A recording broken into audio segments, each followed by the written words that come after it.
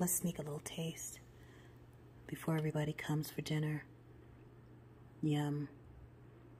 Hey, sweeties. Today we are making oven roasted honey garlic salmon. It is so good. Let me show you. It's already done. Let me show you what it did. Oh my goodness. Succulent, moist, beautiful honey garlic glaze on there. Easy. Really just a few ingredients in a few minutes. And look what you've got. That gorgeous moist salmon.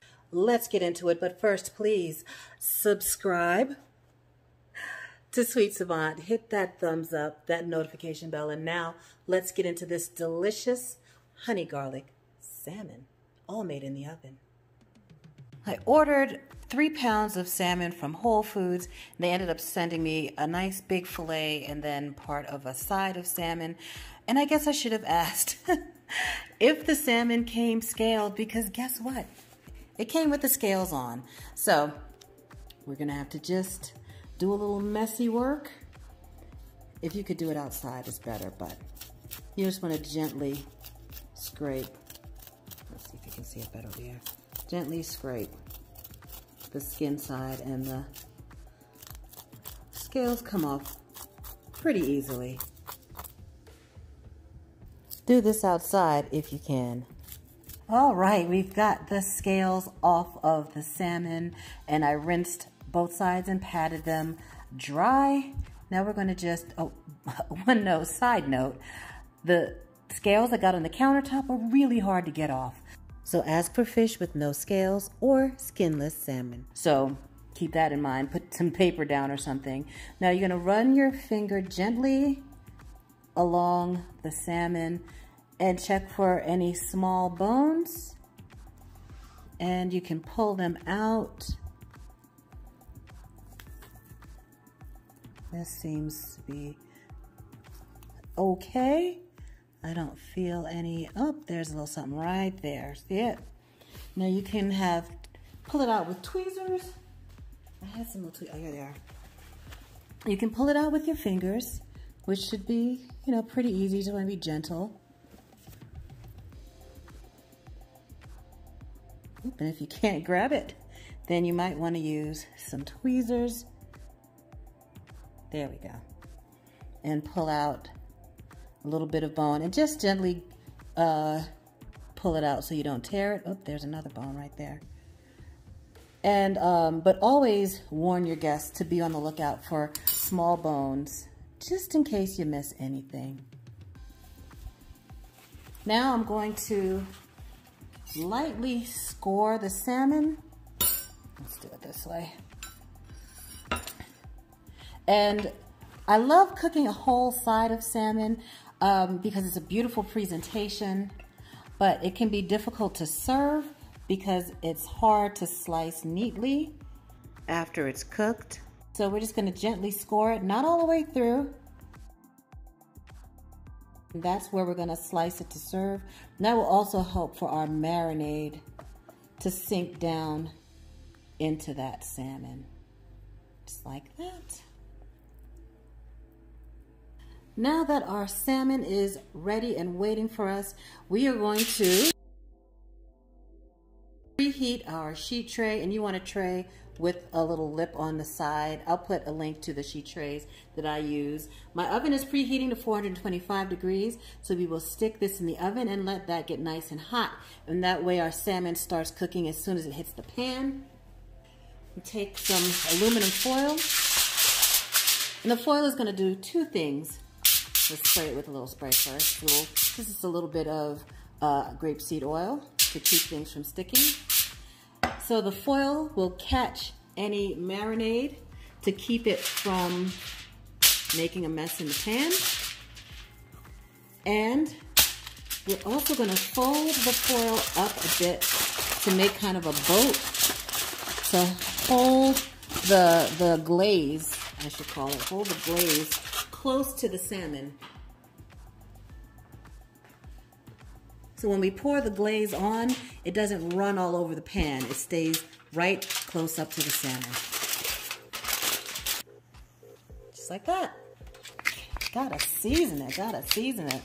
A little fresh cracked black pepper, a little kosher salt, not too much because we're using soy sauce in the glaze, and then a little bit of that cayenne for some heat. I'm gonna give that a sprinkle. And we're gonna do that on both sides. So we'll flip this over and you can even get it in there. Flip it over and do the same thing.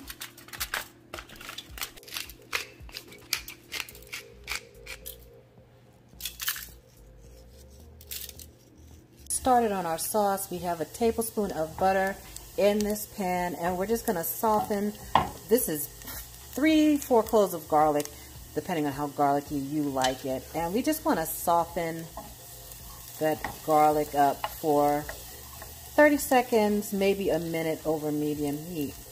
Then we're gonna shut it off, add our honey and soy sauce, because we don't want a scorching hot sauce that we're gonna pour over our raw salmon. That's not what we're looking for right now. So, mmm, that fragrance of the garlic just wafting up. Remember, keep the heat on medium because you just want to soften it. We turned off our heat.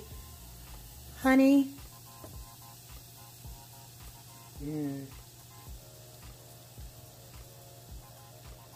Soy sauce, and this is, whoop, there we go.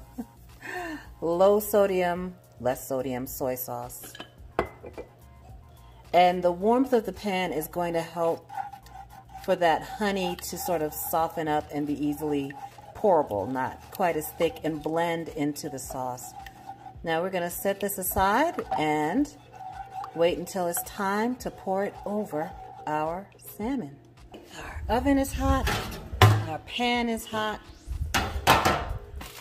Take our salmon, drop it on our hot pan. Make sure our foil is nice up around those sides.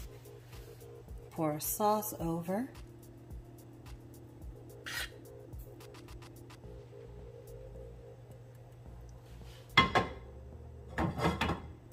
Brush it a little bit. Let's make sure the sides hold up.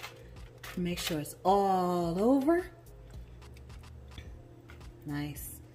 We'll pop it back into the oven.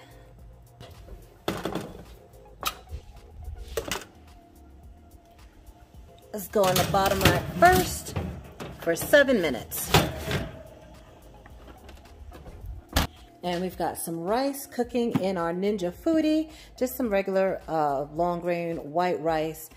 And um, it's already pressure cooked on high for three minutes and then natural release for at least 10 minutes. And I'll just let this stay and keep warm until our salmon is ready. And I have some lettuce that I'm going to wash and um, get ready for dinner. Get our lettuce ready. This is um, good lettuce or butter lettuce. And we want to leave the leaves nice and whole because then we can use it as lettuce wraps, put some rice in there, your salmon, sprinkle some more veggies over the top. Good stuff. So you're gonna be gentle. Oh, gotta check my salmon. Let me just get this out. Drop that into the salad spinner basket. Let any excess water drain off, and then we'll spin this.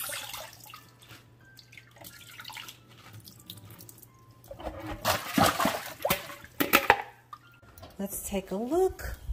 Now you can see how it's getting a little bit opaque around the sides.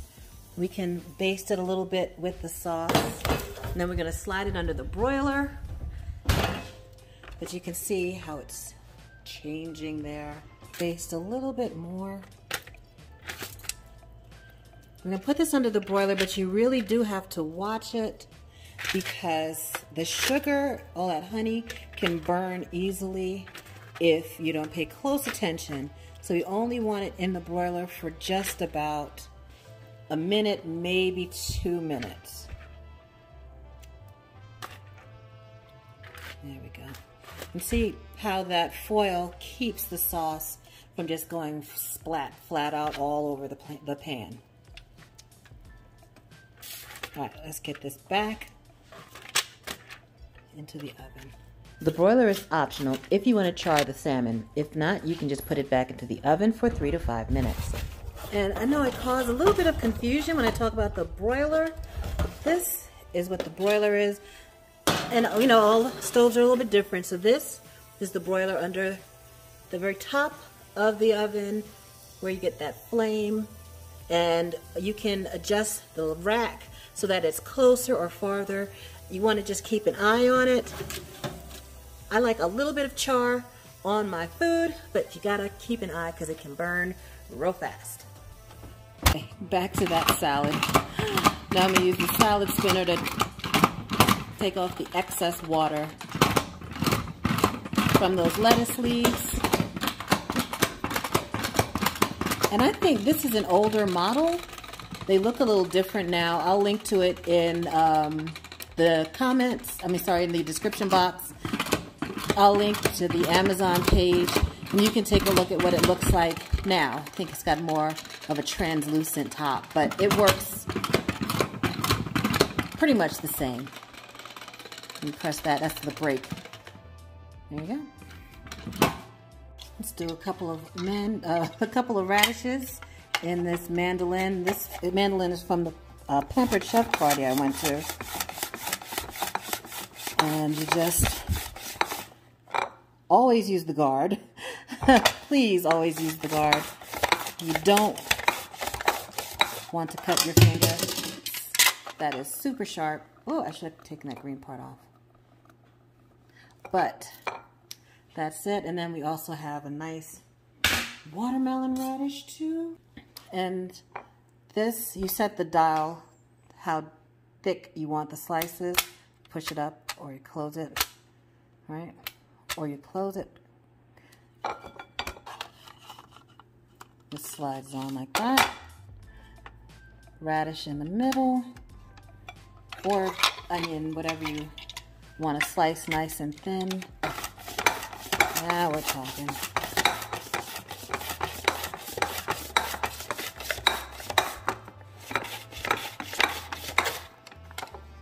And there we got it. Perfect even slices every single time. All right, my nose is telling me this is done. baste it a little bit more. And when you put it under the uh, broiler, your garlic will get toasty. So if you don't like that kind of crispy garlic taste, then you might not want to put it under the broiler. You might want to just let it finish in the oven and your garlic won't get quite so toasted but you can see here the foil keeps the sauce nice and close to the salmon and our pan stays clean. So no scrubbing for me.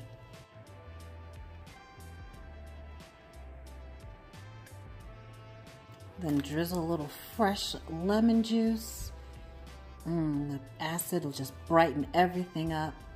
And it's time to ring that dinner bell. rice is ready. Got our radishes and our lettuce.